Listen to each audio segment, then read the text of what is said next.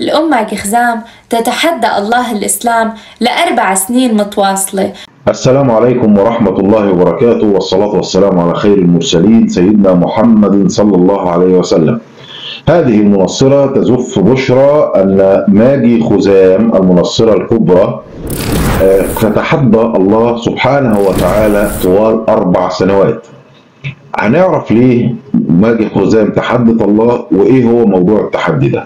رح تكون فيهم عم تسجل الكتاب المقدس بالصوت والصورة مع حذف تماما للفظ الله القريشي الوثني لترجع الكتاب المقدس مثل ما كان قبل 2000 سنة. هللويا. الله بقى بتاع قريش وبقى وثني وهم مش معترفين بربنا سبحانه وتعالى بلفظ ال- الله سبحانه وتعالى يعني. وأصبح ذلك لزاما عليهم إن هم زي ما قلنا لحضراتكم قبل كده هم مش معترفين إن في لفظ اسمه الله وإن الله ده بتاع المسلمين وإن لما قلنا لحضراتكم إن لفظ الله هم خدوه مننا أبلغ دليل على هذا الكلام واللي هتسمعوه لسه. ده أبلغ دليل على مش معترفين بالله سبحانه وتعالى وهم آه، معترفين بحاجه تانية هنعرفها دلوقتي. وأبلغ دليل أيضا أن القرآن أن الكتاب ال- الذي يدعونه مقدس إنه كتاب محرف. إلا إذا لم يكن محرف لم يكن يستطيعون أن يحركوا منه حرف واحد بالحذف أو الإضافة. هنشوف هي عملت إيه ماجي خزام اللي هم مستبشرين بهذه الحلقة كنز من الله سبحانه وتعالى أراد الله سبحانه وتعالى أن أن أن يبعثه إلينا لكي يخرس كثيرا من الألسنة. اتفضلوا معايا. وقتها كان في لفظ الإله وحده هو يهوى خالق السماوات والأرض أبو ربنا يسوع المسيح هو الإله الحق وهو معبودنا نحن المسيحيين كان هو يهوى مفيش الله. يعني لما بنقول إن النصارى لا يعترفوا بشيء اسمه الله يبقى إحنا ما كناش بنتجنى عليهم وهذا أمر واقع زي ما حضراتكم سمعتوه إن هو اسمه يهوى. وهذا آه، سبحان الله يؤكد آه، ما قاله الله سبحانه وتعالى وإن كنا لسنا في حاجة إلى ذلك ولكن يشاء العلي القدير أن يكشف كذبهم ويكشف ضلالهم ويكشف تضليلهم للناس. بسم الله الرحمن الرحيم وإن منهم لفريقا يلوون ألسنتهم بالكتاب لتحسبوه من الكتاب وما هو من الكتاب ويقولون هو من عند الله وما هو من عند الله ويقولون على الله الكذب وهم يعلمون ما كان لبشر أن يؤتيه الله الكتاب والحكم والنبوة ثم يقول للناس كونوا عبادا لي من دون الله. ولكن كونوا ربانيين بما كنتم تعلمون الكتاب وبما كنتم تدرسون. ولا يأمركم أن تتخذوا الملائكة والنبيين أربابا. أيأمركم بالكفر بعد إذ أنتم مسلمون. صدق الله العلي العظيم. هذا ما بشرنا به الله وهذا ما أخبرنا به الله سبحانه وتعالى من في أكثر من 1400 سنة. بيلوون ألسنتهم لتحسبوا أن الكلام آه، من عند الله وهو مش من عند الله. ولكن ربنا سبحانه وتعالى يشاء العلي القدير أن يكشف بالدليل القاطع أن هذا الكتاب محرف. لأنه هذا الكتاب لو لم يكن قد حرف أو سيحرف لما استطاعت هذه ال- ال- المنصرة هي منصرتها الأم ماجي خزامي إن هم يعدلوا على كتاب الله وإن هم هيرجعوه بعد ما 2000 سنة هيشيلوا منه لفظ الله اللي كان موجود بقاله 2000 سنة وهيرجعوا لفظ يهوى. فهذا يدل أكبر وادمغ دليل أن هذا الكتاب محرف بما لا يدع مجالا للشك وضعوا بأيديهم الدليل الذي يؤكد أن هذا الكتاب محرف. كل الشكر والمجد لربنا. كانت الخطوة الأولى هي حذف لفظ الله تماما من الكتاب المقدس مقروء على موقع FMC World. الحمد لله والشكر لله رب العالمين. أن هذا حدث الحمد لله أن الله سبحانه وتعالى يأبى أن يوضع اسمه الشريف العظيم جل جلاله وتقدست أسماؤه أن يوضع في هذا الكتاب. فأراد الله سبحانه وتعالى أن يرفع هذا ال- الاسم العظيم أعظم اسم في الكون. أراد الله سبحانه وتعالى أن يرفعه من هذا الكتاب وأن يقروا أنهم لا يعترفون بهم بل إن الله سبحانه وتعالى هو الذي لا يعترف بهم وسيعلمون غدا فداحة ما فعلوا. بسم الله الرحمن الرحيم. فويل للذين يكتبون الكتاب بأيديهم ثم يقولون هذا من عند الله. ليشتروا به ثمنا قليلا. فويل لهم مما كتبت أيديهم وويل لهم مما يكسبون. صدق الله العلي العظيم. هذا هو ما أخبرنا الله به. يكتبون الكتاب بأيديهم. بالفعل لأن لأن الأناجيل كلها اللي اتكتبت آه، لم تكتب في حياة السيد المسيح عليه وعلى نبينا أفضل الصلاة والسلام. فكيف يكون هذا الكلام من عند الله؟ ويستطيع إنسان كائنا من كان أن يغير فيه. كيف ذلك؟ كيف يمكن أن يقبله عقل؟ كيف إزاي عايز تقنعني إن ده كلام ربنا؟ وأنت بشر بتحط فيه وتزيد منه وتحذف منه وتقول لي إن هذا كلام الله. كلام من عند الله إزاي؟ إذا كنت أنت بتقول إن أنا هشيل منه لفظ الله وبتقول إن أنا هرجع لفظ يهوه تاني. يبقى ده كلام من عند الله إزاي؟ في حين أن القرآن العظيم كما قال الله سبحانه وتعالى إنا نحن نزلنا الذكر وأنا له لحافظون فالقرآن محفوظ لا يستطيع مخلوق كائنا من كان أن أن أن يحرف فيه نقطة واحدة وليس حرف. فما بالكم بهذه التحريفات؟ وسنثبت أيضا من كتابهم أن كتابهم محرف. تخيلوا حضراتكم كتابهم نفسه قال ان هو متحرف بس لما نكمل مع المنصرة دي. ومع أمها اللي فرحانة بيه ومع النصر الساحق اللي هم عملوه وفاكرين إن هم كده إيه، انتصروا انتصار عظيم لانهم شالوا الإله القريشي الإله الوثني حاشا لله تعالى الله عما يقولون علوا كبيرا. إذا إذا بتبحثوا موجود مح محل البحث على كلمات إذا موجودة بالكتاب المقدس تكتبوا الله لا يوجد نتائج. هي رح لكم هلا الصورة اللي هي أحلى صورة لسنة 2024 أحلى صورة إن لفظ الله مش موجود. أرأيتم مدى العمى الذي طمس هذه القلوب؟ أرأيتم النعمة التي منحنا الله إياها أن جعلنا مسلمين؟ أرأيتم أن إنما حينما نقول الحمد والشكر لله رب العالمين على نعمة الإسلام وكفى بها نعمة أنها أعظم نعمة في الكون أرأيتم فرحانين إن اسم الله نزع من من كتابهم. وزي ما حضراتكم شايفين الصورة كده الاسم مش موجود. وده حاجة يعني هم ابتدعوهم للفخر وده أسعد يوم في حياتهم إن لفظ الله جل جلاله الله العظيم الله الخالق الواحد الأحد الله ربنا ورب كل شيء ومليك كل شيء فرحانين إن اسمه اتشال.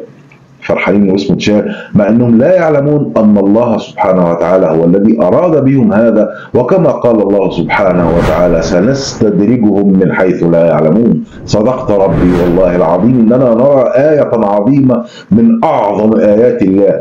آية تدل أن القرآن العظيم هو من عند الله الذي قال الله فيه أنهم سيكتبون الكتاب بأيديهم ثم يقولون هذا من عند الله وها هو الواقع يثبت بالصوت والصورة أنهم يقرون أن هذا الكتاب محرف يريد يحذفون منه الآن لفظ الله سبحانه وتعالى ويعود إلى لفظ كان موجود قبل 2000 عام أي أنه تم تحريفه من قبل ويتم تحريفه الآن على مرأى ومسمع من العالم كله ولا حول ولا قوة إلا بالله أن يكون هذا النصر المبين من عند الله أن يثبت للجميع. للنصارى قبل المسلمين أن كتابهم محرف بشهادة المنصرين أنفسهم وليس بشهادة أحد من المسلمين وبالصوت والصورة اللتان لا تقبلان الشك. ولا حد يقول لك فوتوشوب ولا حد يقول لك بالصوت والصورة أمام حضراتكم المنصرة.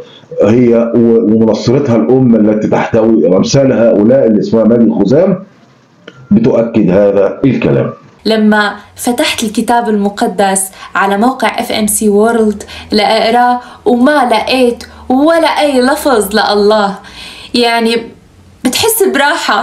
ما بقدر إني أوصف لكم شو شو حسيت بس شيء رائع إحساس رائع. إحساس رائع ان لفظ الله مش موجود. شفتوا ضلال أكتر من كده. يعني إحساس رائع إن اسم الله مش موجود. لا حول ولا قوة إلا بالله العلي. الحمد لله الذي عافانا مما ابتلى به غيره. رائع. إحساس رائع إن اسم الله مش موجود. تتخيلوا فرحانه وفاكره إن ده نشوه وانتصار وإن ده شيء يعني عظيم جدا. ينطقهم بألسان بألسنتهم التي تعودت الكذب والافتراء والشبهات و و و ينطقهم بالحق. وهم لا يدرون. تخيلوا حضراتكم إنها معتبرة إن حذف اسم الله من كتابهم نصر. تخيلوا حضراتكم.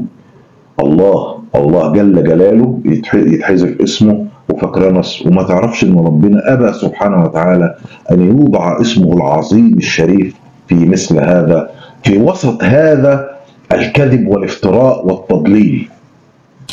كنا عن جد بنتمنى إنه يجي اليوم يلي نفتح فيه الكتاب المقدس وما نشوف لفظ لله القريشي.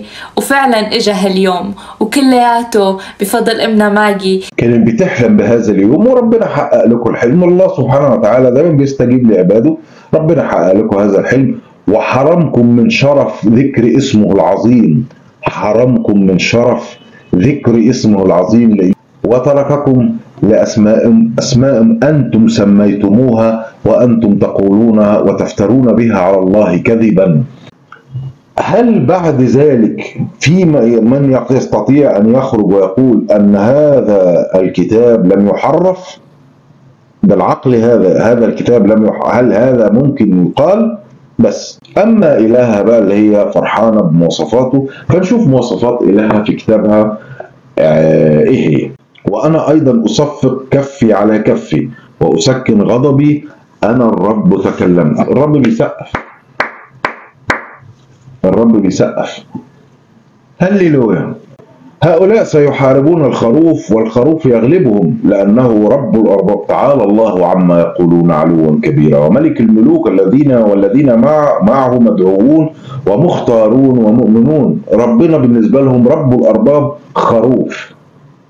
طب لازم ربنا ينزع اسمه من هذا الكتاب. ما ينفعش. لازم لفظ الله يتشال. ما ينفعش. ما ينفعش يكون موجود وسط هذا الكلام. رب خروف. أما أنا فدودة لا إنسان عار عند البشر ومحتقر الشعب. اللهم لا حول ولا قوة إلا بك يا رب. فندم الرب على الشر الذي قال أنه يفعله بشعبه. الرب بيندم. الرب مش مش عارف عواقب تصرفه. حاشا لله حاشا لله حاشا لله. تعالى الله علوا كبيرا عما يقولون. الله بيندم إنه يا جماعة يعني مش عاقل مش مش مش عارف يحسب عواقب تصرفه. فأخطأ في التصرف فندم على هذا التصرف.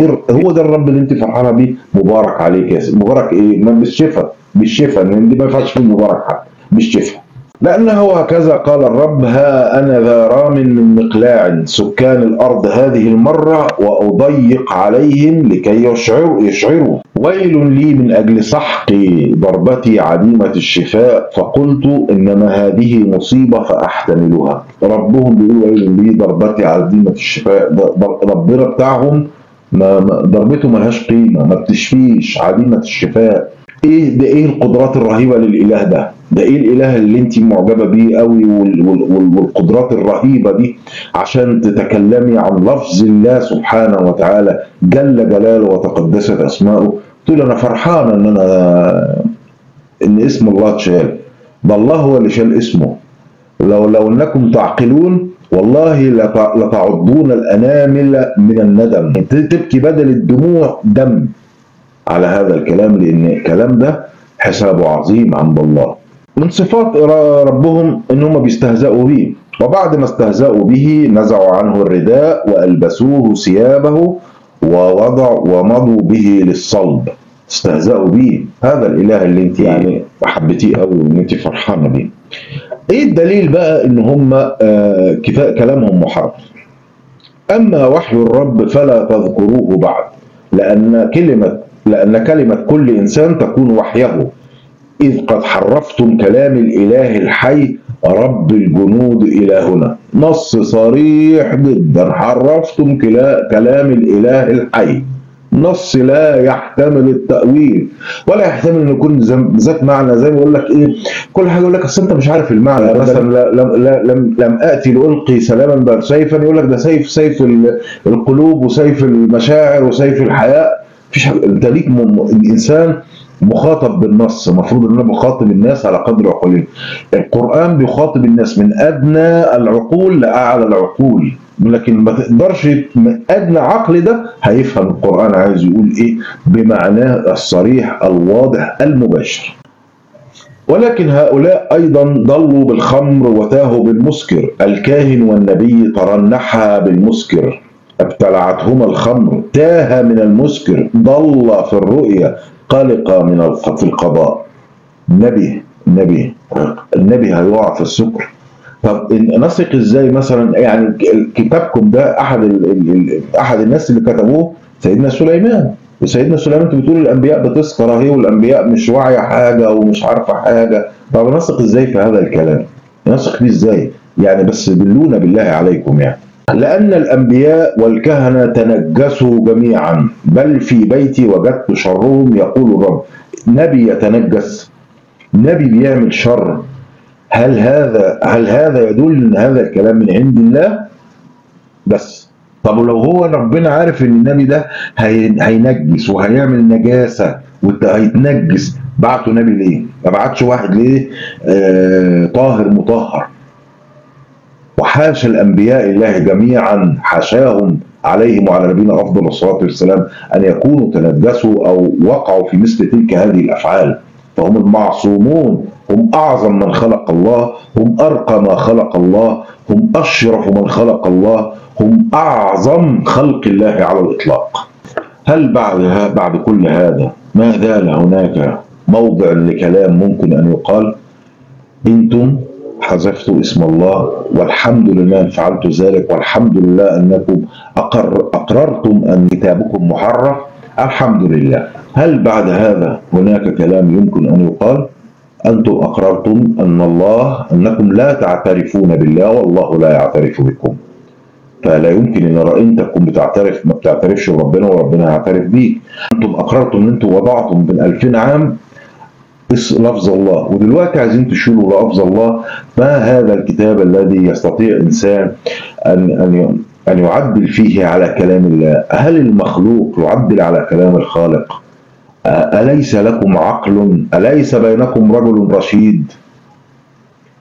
الحمد لله والشكر لله على نعمة الإسلام وكفى بها نعمة. اللهم لك الحمد ولك الشكر على هذه النعمة العظيمة. وإلى هنا. تنتهي حلقتنا وإلى الحلقة المقبلة بإذن الله تعالى. أترككم في رعاية الله وأمنه وسلامته. السلام عليكم ورحمة الله وبركاته.